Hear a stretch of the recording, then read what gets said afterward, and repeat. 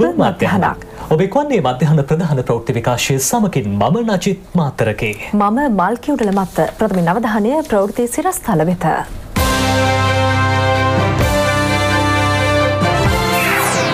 ශිෂ්‍යත්ව ප්‍රතිඵල නිකුත් වෙයි. ප්‍රථම ස්ථාන පිළියන්දලට සහ වේයන්ගොඩට. ශ්‍රී ලංකාව ලෝකයටම ආදර්ශයක් බව නෝර්වේ විදේශ ඇමතිවරිය කියයි. දස හැබිරිදි දරුවෙක් අතුරුදන්. ආයුධ ගණුදෙනුවකට රුසියා ඉන්දයා එකඟතාවක්.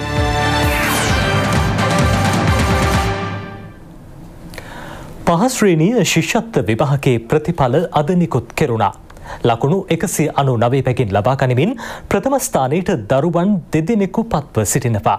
ඒ පිළියන්දල සෝමවීර චන්ද්‍රසිරි විදුහලේ භූමිත් මෙත්නූල් විතානගේ සිසුවා සහ වයන්ගොඩ ශාන්තමරයා මහාවිද්‍යාලයේ සනූප දිමත් පෙරේරා සිසුවායි.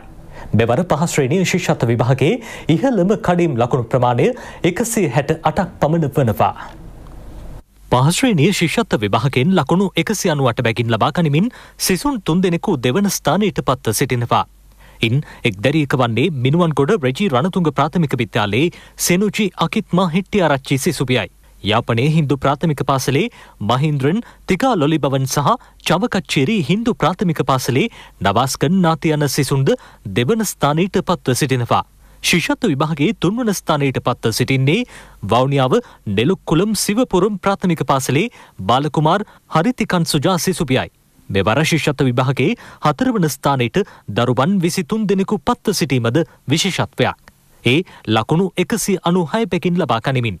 විභාග දෙපාර්තමේන්තුවේ www.donets.lk වෙබ් අඩවියෙන් පහශ්‍රේණී ශිෂත්ව විභාගේ ප්‍රතිඵල දැන් ලබාගත හැකි. සාමය හා සංහිඳයා වැතිකිරීමේ අසීරු කාර්යභාරය සාර්ථක කර ගැනීම සම්බන්ධයෙන් ශ්‍රී ලංකාව මුළුමහත් ලෝකයටම ආදර්ශයක් සපයමින් සිටින බව නෝවයේ විදේශ අමාත්‍යවරිය පවසනවා. ඔස්ලෝ නුවරදී අග්‍රාමාත්‍ය රනිල් වික්‍රමසිංහ මහතා හමුවේ ඇය මේ බව සඳහන් කළා. ඩෝබේ විදේශ ඇමතිනි ඉනේ එරික්සන් මහත්මිය සහ අක්‍රමාත්‍ය රනිල් වික්‍රමසිංහ මහතා අතර හමුව පැවැත්වුණේ ඔස්ලෝ නුවර රාජ්‍යමුත්තන්ගේ නිල නිවසේදී. මෙහිදී නෝපේ විදේශමාත්‍යවරිය තවදුරටත් කියා සිටී ශ්‍රී ලංකාවේ සාමය හා සංහිදයා වැඩපිළිවෙල සඳහා තම රජයේ පූර්ණ සහය ලබා දෙන පවයි.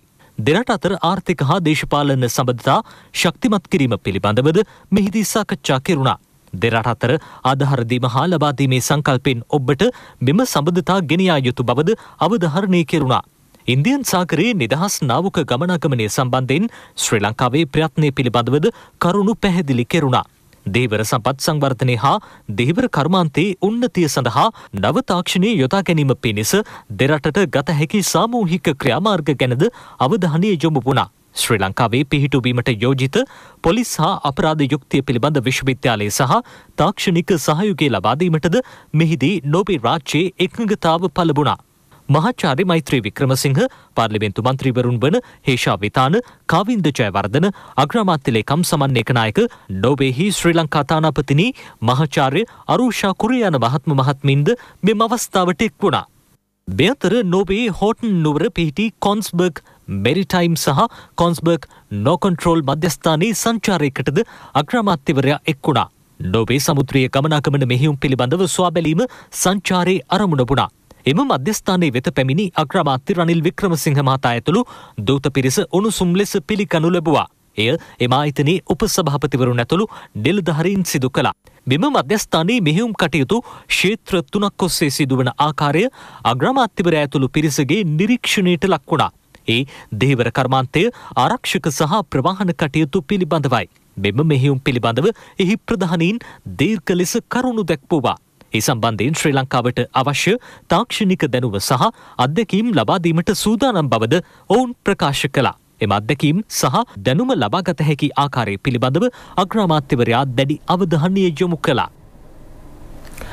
ජාතික විද්‍යාපදනවේ පනස් වන සංවත්සරය ජනාධිපති මෛත්‍රීපාල සිරිසේන මැතිතුමාගේ ප්‍රධානත්වයෙන් ඊයේ පස්වරුවේ කොළඹදී පැවැත්වුණා.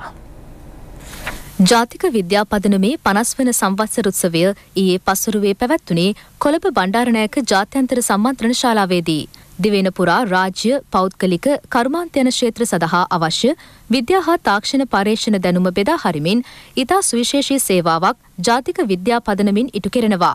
එහිදී විද්‍යාඥයින් අධ්‍යාපනවේදීන් උපාධිධාරීන් සහ පාසල් සිසුන් අතරද දේශීය මෙන්ම අන්තර්ජාතික වශයෙන් සිදු කරන පර්යේෂණ හා සොයා ගැනීම පිළිබඳ දැනුමද බෙදා හැරීමේ සාර්ථක පෙරගමන්කරුවෙකු ලෙස කටයුතු කරන්නේ ජාතික විද්‍යා පදනමයි. එක්දහස් නවසය අසූ එක වසරේදී ස්වභාවික සම්පත් බලශක්ති සහ විද්‍යා අධිකාරියට විද්‍යා අධිකාරිය බවට පරිවර්තනය කෙරුණා.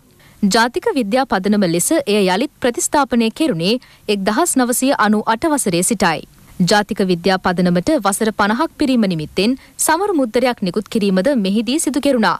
විද්‍යා හා පර්ේෂණ ක්ෂේත්‍රයේ සුවිශේෂී මෙහෙවරක් ඉටු කළ දෙදෙනෙකු වන මහාචාර්ය සීබී දිසානායක සහ මහාචාර්ය RAKL දිසානායකන මහත්තරුන්ට ජනාධිපතිතුමා අතින් යාවජීව සම්මානය පිරිනැමුණා. රැස්ව සිටි පිරිසැමතු අමාත්‍ය ආචාර්ය සරත් අමනුගම මහතා. Sri Lanka is a small country ශ්‍රී ලංකාව කියන්නේ පුංචි රටක්. අපේ රටේ පුරවැසියන්ගේ හැකියාවලින් දක්ෂතාවලින් පුළුවන් රට දියුණු කරන්න. එවගේමයි අපිට පුළුවන් ජාත්‍යන්තරයට වැඩදායි පුරවැසියන් දයාද කරන්න. ඒක අපිට කරන්න පුළුවන් වෙන්නේ අපේ රටේ විද්‍යාශේත්‍රය කෙරෙහි වැඩි අවධානයක් යොමු කළොත්. අපි හරි වාසනාවන්තයි. අපේ රටේ සංස්කෘතිය සමාජය නිරෝගිමත් ජනකහනය නූතන විද්‍යාව ආවරණය කරනවා. විද්‍යාශේත්‍රය දියුණු කරන්න අපි තවත් කැපවෙනව නම් විශාල පිරිසකට ඒක ප්‍රතිලාභ ලබාගන්න පුළුවන් කියලා මම හිතනවා. embracing modern science. Enterprise Shri Lanka වැඩසටහන තුළින් ව්‍යවසායකයෙන් නගා සිටුවීම සඳහා සහනදායි ණය ලබාදීමේ වැඩපිළිවෙලක් ආරම්භ කර ඇති බව අමාත්‍ය ලක්ෂ්මන් කිරැල්ල මහතා පවසනවා.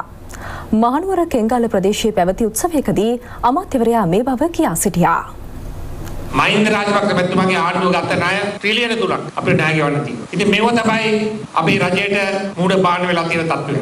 හැබැයි මේ වගේ වාතාවරණයක් තියෙද්දි අපේ රටේ සාමාන්‍ය ජනතාව අපි අමතක කරුවේ බැංකු විශාල ලාභයක් ලබනවා. අපි කැබිනට් මණ්ඩලයේ රැස් වුණාම සාකච්ඡා කරුවා මේ බැංකු ලබන ලාභය ජනතාවට ලබා දෙන්න ඕන. අනිත් එක බැංකු ඊට වඩා ජනතාවට සමීප කරවන්න ඕන. අපි තීරණය කරුවා රජයක් හැටියට මේ එන්ටර්ප්‍රයිස් ශ්‍රී ලංකා වැඩසටහන යටතේ හැකිතරම් දුරට ණය ලබා දෙන වියසායකයන් ගම්මට්ටමේ බිහි කිරීමට ඒ වගේම අපකොන්දේසි ලිහිල් කරන්න ඕන. තවදුරටත් ලිහිල් කළ හැකිතරම් දුරට වියසායකත්වයේ දියුණු කරන්න ණය පාසුකම් ලබා දෙන්න අපේ රජය තීරණය කළා තියෙනවා.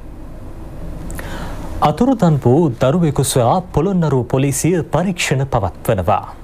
මැදිරිකිරිය යාය හත බිසෝබණ්ඩාර ප්‍රදේශයේ පදිංචි දසහැවිරිදි දරුවෙකුයි මෙසේ අතුරුදන් වැත්තේ. ප්‍රවීන් චින්තක නැමති මෙම දරුවා අතුරුදන්ව සිටින්නේ පසුගිය මාසයේ දාසය වනදා සිටයි. එදින දරුවාගේ අසනීපයකට ප්‍රතිකාර ලබා ගැනීම සඳහා මව සමග පොළොන්නරුව රෝහලට ගොස් තිබෙනවා. එහිදී වැසිකිලියාමට අවශ්‍ය බව පවසමින් දරුවා රෝහලේ ආපන ශාලාවට අයත් වැසිකිලියට ගොස් තිබෙනවා. එහෙත් ඉන් පසු දරුවා ගැන මෙතෙක් කිසිදු හෝඩුවාවක් ලැබී නැති බවයි දරුවාගේ දෙමව්පියන් පවසන්නේ.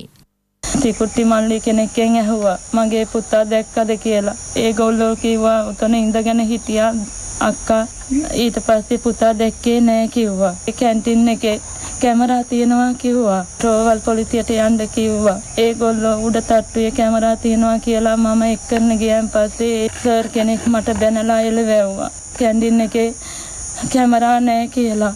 ඊට පස්සෙත් ඒගොල්ලෝ පැමිණිල්ල ලියන්න බෑ කිව්වා කාන්තා කාර්යාලේ ඉන්න මිස්ලා ඔය ඔයගොල්ලෝ හොයලා දුන්නේ නැත්නම් මගේ පුතා හොයන්න මං ජනාධිපතිතුමා ළඟට හරි යනවා කිව්ව හින්දා පැමිණිල්ල ලියාගත්තා. අපි දුප්පත් අපට ඇයි මේ තරම් අපි ගැන බලන්නේ නැත්තේ අපි අසරණ හින්දාද සුළු හා මධ්‍ය පරිමාණ ව්‍යවසායකයින් සඳහා ව්‍යවසායකත්වය පිළිබඳ දැනුම ලබාදීමේ අරමුණෙන් සංවිධාන කරන ආසියා පැසිෆික් කලාපයේ ව්‍යවසායකත්වය පිළිබඳ ජාත්‍යන්තර සමුළුව ලබන නවවනදා ත්‍රිකුණාමලයේදී ආරම්භ කරන බව අමාත්‍ය රිෂාඩ් බදියුදීන් මහතා ප්‍රකාශ කළා. අපේ අමාත්‍යංශය යටතේ සියලුම පළාත්වල SME සෙක්ටර් දියුණු කරන්නත් තව අලුතෙන් ඒ ව්‍යාපාරයට එන අයට ඕන පුහුණුව ලබා දෙන්න දෙනට ඒ SME සෙක්ටර් එකේ ඉන්න අයට මාකට් ඇක්සස් හොයලා දෙන්නත් ලෝකලි and ඉන්ටර්නැෂනලි අපේ කොමර්ස් දෙපාර්තමේන්තුවේ ඉන්න ට්‍රේඩ් ඔෆිසර්ස්ලා හරහා EDB හරහා එයාලට උදව් කරන්නත් එයාලට ඕන තාක්ෂණය සඳහා ඕන පුහුණුව ලබා දෙන්නත් නෙඩ ආයතනය ගොඩාක් වැඩපිළිවෙල යොදවලා තියෙනවා. ගම්පහ ඉහළකම නව පාලම ඇතුළු ව්‍යාපෘති කිහිපයක තොරතුරු තැන් සංවර්ධන පුවත් තුළින්. ගම්පහ විජයරාම මාවතේ ඉහළගම ප්‍රදේශයේ ඉදි කළ නවපාලම සඳහා රුපියල් මිලියන විසිතුනක් පමණ වැය කර තිබෙනවා. ඉහළගම හරහා ඉදි කළ මෙම පාලම විවෘත කෙරුණේ නියු ජමාතය අජිත් මාන පෙරුම මහතා අතින්. කොළඹ මහනුවර මාර්ගයේ කලගෙඩිහේන ප්‍රදේශයට හා වේයංගොඩ නගරයට යාමට විකල්ප මාර්ගයක් ලෙස විජයාරාම මාවත භාවිත කරනවා. එහි තිබූ පාලම දැඩි ලෙස අබලංවීම හේතුවෙන් මාර්ගය භාවිත කරන විශාල පිරිසක් දැඩි දුෂ්කරතාවකට පත්ව සිටියා. නව පාලම ඉදිකිරීමත් සමග ප්‍රදේශයේ රථවාහන තදබදයට විසඳුම් ලැබුණා. මෙම පාලම ඉතාම දුර්වල තත්ත්වක තිබුණේ මෙම පාලම ඉදි කරලා දුන්නා මේ ප්‍රදේශයේ ජනතාවට ලොකු රුකුලක් වෙනවා ගමනාගමනයට. මේක අපිට ලබා දුන්නට පවතින රජයට ස්තුති කරනවා. වසර ගණනාවක සිට අබලංව පවතින කළුතර සේරුපිට ලියනගොඩ මාර්ගය කාපට් අතුරා සංවර්ධනය කෙරෙන්නේ රුපියල් ලක්ෂ දෙසිය පණහක් වැය කරමින්. කළුතර කෙත්හේන කළුතර සේරුපිට යන ප්‍රධාන බස්මාර්ග දෙකක් යා කරන ප්‍රධාන අතුරුමාර්ගයක් ලෙස ලියනගොඩ සිට සේරුපිට දක්වා වන මෙම මාර්ගය භාවිත කරනවා. එහි දුර කිලෝමීටර් එකයි දශම තුනක්. මාර්ගය සංවර්ධනය කිරීම ගැන ප්‍රදේශවාසීන් රජයට ප්‍රසාදය පල කරනවා. ලොකු සෙතක් මේ ප්‍රදේශයේ ජනතාවට මොකද දුක්විඳන්නයි අපිට සිද්ධ වනේ දීර්ඝ කාලයක් ඉතින් ඒ තත්ත්වය වෙනස් කල්ලා මේ රජය යටතේ ඒ කටයුතු අවසන් කල්ලා අපිට අපි ගම බිමං යන්න ඒ අවශ්‍ය පහසුව සලසාදීම ගැන අපි රජයට සුතිවන්ත වෙනවා. පාසල් ළමුන්ට ඒවාගේම රැකියාවට අයට දැඩි දුෂ්කරතාවයකට මුහුණ පාන සිදු වෙලා තිබුණා. මේ වර්තමාන රජය විසින් මේ පාර සංවර්ධනය කරලා කාපට් කරලා බොහෝ දුරට වැඩ අවසන් කරලා තිනවා. ඒකට රජයට ස්තුතිවන්ත වෙනවා. වසර ගණනක් තිස්සේ කිසිදු කටයුත්තක් සඳහා භාවිතයට නොගත් ඔළුවිල් වරාය ආයෝජන කලාපයක් ලෙස සංවර්ධනය කෙරෙනවා. එම ප්‍රදේශයේ නිරීක්ෂණ චාරිකාවකට එකමින් අමාත්‍ය මහින්ද සමරසිංහ මහතා මේ බව සඳහන් කළා. අමාත්‍ය රව් හකීම් මහතා සහ නිලධහරින් පිරිසක්ද ඊට එක්ව සිටියා. මේ වෙනකොට කැබිනට් මණ්ඩලයේ අනුමැතිය ලබාගෙන තියෙනවා මේ ස්ථීර විසඳුම තව මාස 4කින් ක්‍රියාත්මක කරන්න. මේ පළවෙනි කොටස තමයි වෙරළ කාදනයටත් වරායට ඇතුල් වෙන ස්ථානවල වැලි පිරලා නැව් එන්න බැරි තත්ත්වයක් ඇති වෙලා තියෙන ඒ අවස්ථාවටත් විසඳුමක් හැටියට අපි බලාපොරොත්තු වෙනවා ඩ්‍රෙජර් එකක් මෙහෙට ගෙන කොට ගහිලා තියෙන ඒ වැලි පොම්ප කරන්න යනවා වෙරළ කාදනය ඇති වෙලා තියෙන ප්‍රදේශවල. බණ්ඩාරවෙල පූනාකල මාර්ගයේ පස්කඳු කඩාවැටීමක් සිදුව තිබෙනවා. එම ප්‍රධාන මාර්ගයේ මෙන්ම අතුරු මාර්ගවලද පස්කඳු වැටීම් සිදුවන බව වාර්තා වනවා. මේ හේතුවෙන් වාහන ගමනාගමනයට දැඩි බහදා සිදුව තිබෙනවා. හල්දුම් මුල්ල ටීඩ්වුඩ් වතුයායට හෙලින් නැති කදුකර ප්‍රදේශයේ විශාල ගල්පර්වත පෙරලීමේ අවධානමක් මතුව තිබෙනවා. ඒ සමග ප්‍රදේශයේ පවුල් හතලිස්තුනක පුද්ගලින් එකසි අසූ අට දෙනෙකු ආරක්ෂිත ස්ථාන වෙත යොමු කිරීමටයි කටයුතු කෙරුණේ. ඊයේ පසුරුවේද විශාල ගල් කිහිපයක් පෙරලී තිබෙනවා. ඉන් කුඩා දරුවෙකුගේ දිවි බේරාගෙන ඇත්තේ ඉතා අසීරුවෙන්. ඒ සමග රාත්‍රියේදීම අදාළ පවුල්වල සමාජිකයන් හල්දුම් මුල්ල විපුලානන්ද දෙමළ විදුහලේ රදවා තැබීමට අදාළ නිලධහරින් කටයුතු කළා. ආපදා කළමනාකරන නිලධහරින් පවසන්නේ මෙම ප්‍රදේශවාසීන්ට වර්ෂාමාන ලබා දී ඇති බවයි. නියමිත සීමාවට වඩා වර්ෂාව ලැබුණහොත් ඉන් ඉවත් වන ලෙස දැනුම් දී තිබුණද ඔවුන් එම උපදෙස් පිළි නොපැතීම හේතුවෙන් ගැටලු මතු ඇති බවද ඔවුන් ප්‍රකාශ කළා. 19+ ජයග්‍රාහි මාවතක් කරා අධ්‍යාපන වෘත්තිය මාර්ගෝපදේශන හා වෙළඳ ප්‍රදර්ශනය කුලියාපිටිය මධ්‍ය මහාවිද්‍යාලයේදී ලබන ඉරිදාතෙක් පැවැත්වෙනවා. උසස් පෙලින් පස්සේ අපි මොකද්ද කරන්න ඕන? අපිට යන්න තියෙන වෘත්තීය ප්‍රවේශයන් මොනවාද? ඒ මාර්ග පිළිබඳ කොහොමද අපි දැනගන්නේ? මෙන්න මේ කියන ගැටලු වලට විසඳුමක් ලබා දෙන්න තමයි 19+ ජයග්‍රාහී මාවතක් කරා සංකල්පය වර්තමාන අධ්‍යාපන අමාත්‍ය අකිල විරාජ් කාර්යවසම් මැතිතුමා ඇති කරමින් මේ අධ්‍යාපන අමාත්‍යංශය මගින් මේ ප්‍රදර්ශනය සංවිධානය කරන්නේ. එහි පළමු ප්‍රදර්ශනය තමයි පසුගිය තුන්වෙනිදා කුලියාපිටිය මධ්‍ය මහාවිද්‍යාලය කේන්ද්‍ර කරගනිමින් ආරම්භ කරන්නට යෙදුනේ. අද දිනේ ප්‍රධාන ආරාධිත අමුත්තා ලෙස සහභාගී වන්නේ පාර්ලිමේන්තු මන්ත්‍රී තුෂාර ඉන්දුනිල් අමරසේන මැතිතුමා. එතුමන්ගේ ප්‍රධානත්වයෙන් තමයි අද දවසේ මේ වැඩ කටයුතු ආරම්භ කිරීම සඳහා කටයුතු සංවිධානය කර තිබෙන්නේ. මල්වතු විහාර පාර්ශවයේ ජේෂ්ඨ කාරක සංඝ සභික පූජ්‍ය අලුත්ගම ධම්මානන්ද ස්වාමින් වහන්සේගේ ශ්‍රී දේහය පිළිබඳ අදාහන පූජෝත්සවය හෙට පැවැත්වෙනවා. පූර්ණ රාජ්‍ය අනුග්‍රහය සහිතව ආදාහන පූජෝත්සවය පැවැත්වෙන්නේ මහනුවර පොලිස් ක්‍රඩාංගනයේදී. අපොත්වේ වදාළ නාහිමියන්ගේ ශ්‍රීදේහය මල්මුත්තු විහාරීය තුම්පනය විහාරයේ තැන්පත් කර තිබෙනවා. උන්වහන්සේගේ ශ්‍රී දේහයට අවසන් ගෞරව දැක්වීමට විශාල පිරිසක් පැමිණියා. විදේශ දූත පිරිස්ද අතර වනවා. සිංගප්පූරුවේ මහකරුණා බෞද්ධ සංගමේ සහ සිංගප්පූරුවේ ශ්‍රී ලංකාරාම විහාරස්ථානයේ දායක පිරිසද මැලේසියාවේ තරුණ සංගමයද අතර වනවා. මහා කරුණා බෞද්ධ සංගමේ අනුශාසක පූජ්‍ය කරදටියන ගුණරත්න ස්වාමින් වහන්සේද අවසන් ගෞරව දැක්වුවා. ITN FM ප්‍රවර්තන වැඩසටහන මේ දිනවල සාර්ථකව ක්‍රියාත්මක කෙරෙනවා. වැඩසටහන ඊයේ පැවැත්වුණේ ගාල්ල සහ අම්බලංගොඩ නගර කේන්ද්‍ර කර ගනිමින් ITNFM නව වැඩසටහන් ජනතාව අතරට ගෙනයාමේ අරමුණෙන් මෙම ප්‍රවර්ධන වැඩසටහන සංවිධාන කර තිබෙනවා. ප්‍රවර්ධන වැඩසටහනට මහජන බැංකුව සහය ලබා දුන්නා. පැමිණ සිටි පිරිස වෙනුවෙන් තරඟ පවත්වා ත්‍යාග ලබා දීමද මෙහිදී සිදු කෙරුණා. ITN ඔස්සේ විකාශය වන කෝපිකඩේ ටෙලිනාට්‍ය ශිල්පීන්ද මෙම අවස්ථාවට සහභාගී වුණා. ප්‍රවර්ධන වැඩසටහනට ජනතාවගේ ඉහළම ප්‍රතිචාර හිමි වුණා. අද මතුගම නගරය කේන්ද්‍ර කර ගනිමින් ප්‍රවර්ධන චාරිකාව පැවැත්වීමට නියමිතයි.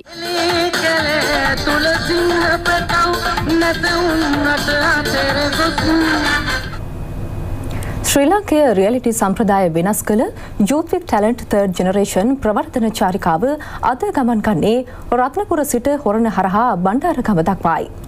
ජාතික තරුණ සේවා සභාව සහ ITN මාධ්‍යජාලය ඒකාබද්ධවයි එය සංවිධාන කරන්නේ. Youth with Talent Third Generation ලංකාවේ රීලට ඉතිහාසය වෙනස් කරපු අංකයේ රීලටිය යුත් ටලන් තර්ඩ් ජෙනරේෂන් කිරුණගත් ප්‍රවර්තන චාරිකාව ජයග්‍රහී දසවන දිනේ මේ විදිහට අපි රත්නපුරින් ගමන් ආරම්භ කරන්න තීරණය කළා. ගමේ තාරුණ්‍ය අනාගතය ඔප්නංවමින් ජාතික තලයෙන් ජාතියන්තර තලයට අරන් ගිය එකම රීලිටිය තමයි යුත් විත් ටැලන්ට් කියලා කියන්නේ. ඉතින් මේ ජයග්‍රහී 10 වන දිනේ අපි සැප්තැම්බර් 26 වෙනිදා පෙරගමන් චාරිකාව ආරම්භ කරලා අද අවසාන දිනේ මේ විදිහට රත්නපුරින් ගමන් ආරම්භ කරන්න තීරණය කළා. අපි රත්නපුරින් ඉංගිරියට ඉංගිරියෙන් හොරණට හොරණින් බණ්ඩාරගම හරහා අපි පිළියන්දලට එන්න සූදානම් මේ ප්‍රවර්තන චාරිකාවේ අද දිනේ. යුත් විත් ටැලන්ට් ප්‍රවර්ධන චාරිකාව හෙට දිනෙන් අවසන් වනවා. සමප්ති උත්සවය මහරගම ජාතික තරුණ සේවා මධ්‍යස්ථානයේදී පැවැත්වීමට කටයුතු යොදා තිබෙනවා. අපි ඔබට ආරාධනා කරන්නේ එකතු වෙන්න මේ ප්‍රවර්තන චාරිකාවට ඔබේ උණුසුම් සුපැතුම් එකතු කරන්නට අපි යන අද මේ ගමන් වාරය තුල ලංකාවේ අංක එකේ රියලිටිය යුත් විත් ටැලන්ට් ඔබේ අධිෂ්ඨානය ජයග්‍රහණය නම් ඔබේ හැකියාව විශ්මිත විය යුතුයි. Youth with Talent Third Generation දැන් ප්‍රෞෘත්ති කිහිපයක් කෙටියෙන් බලාපොරොත්තු වන්න. ජාතික වෘත්තීය සුරක්ෂිතතා සම්මන්ත්‍රණය අමාත්‍ය රවීන්ද්‍ර සමරවීර මහතාගේ ප්‍රධානත්වයෙන් කොළඹදී පැවැත්වුණා. වැඩ කරන ජනතාව සිය වෘත්තීන්හි නියැලෙද්දී සිදුවන අනතුරු අවම කිරීම පිළිබඳව දැනුවත් කිරීමයි මෙහිදී සිදු කෙරුණේ. විවිධ වෘත්තිකයන් සම්මන්ත්‍රණයට එක්ව සිටියා. වෘත්තීය සුරක්ෂිතතාව පිළිබඳව දේශන පැවැත්වුණා. ශ්‍රී ලංකා ගුවන්විදුලි සංස්ථාවේ විදුර ළමා ගුවන්විදුලිය සංවිධාන කළ රටට පිපෙන මල් ප්‍රසංගය එම සංස්ථාවේ කුමාරතුංග මැදිරියේදී පැවැත්වුණා. ලෝක ළමා දිනයට සමගාමීවයි එය සංවිධාන කර තිබුණේ. බස්නාහිර පළාත් අධ්‍යාපන අමාත්‍ය රංජිත් සෝමවංශ මහතා සහ ජනමාධ්‍ය අමාත්‍යාංශයේ අතිරේක ලේකම් රමණි ගුණවර්ධන මහත්මිය ඇතුළු පිරිසක් ප්‍රධාන ආරාධිතයා ලෙස ඊට එක්ව සිටියා. සංස්ථාවේ අධ්‍යක්ෂ ජෙනරාල් ඒරානන්ද හෙට්ටිආරච්චි මහතා ඇතුළු විශාල පිරිසක් ප්‍රසංගය නැරඹීමට එක් වුණා.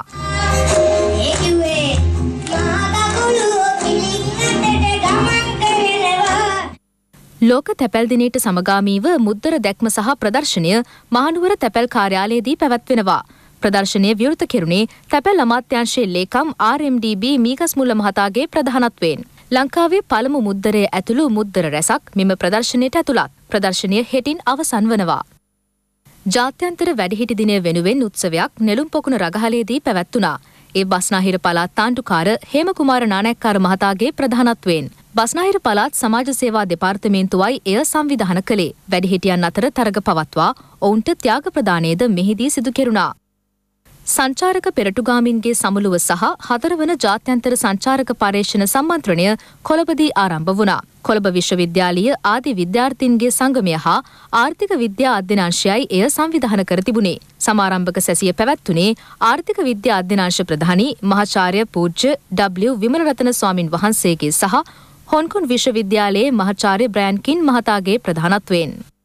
ලෝක ළමාදිනය වෙනුවෙන් විශේෂ වැඩසටහනක් බොරැල්ල ආයුර්වේද ශික්ෂණ රෝහලේ ළමා වාට්ටුවේදී පැවැත්වුණා. කොටුව ලියෝ සමාජය ඊට අනුග්‍රහය දැක්වූවා. වෛද්‍යවරුන් ඇතුළු ආරාධිතයන් රැසක් මෙම අවස්ථාවට එක්ව සිටියා. දරුදැරියන්ට ත්‍යාග ප්‍රදානයද සිදු කෙරුණා.